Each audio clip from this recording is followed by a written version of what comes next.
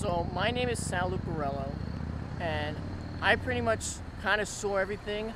So what I saw was when I got over here, I saw him bleeding on the ground, and then all I saw was next was him walking away, being driven to a hospital where I believe right now he's doing okay.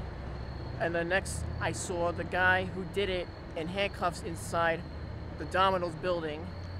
What I heard from there is he flushed the knife down the toilet and one of my friends um, he tried to help out but by um, making sure that sorry about that No, no, sorry. Take your time.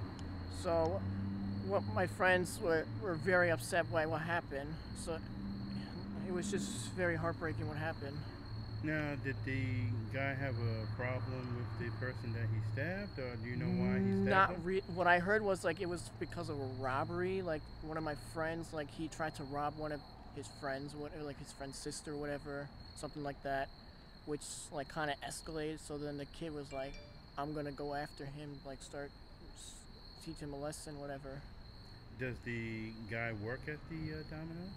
No he does not work at domino's So he He- just walked into the uh, establishment and Yeah, the guy who was who did the stab, he just ran off and went into Domino's where we caught him.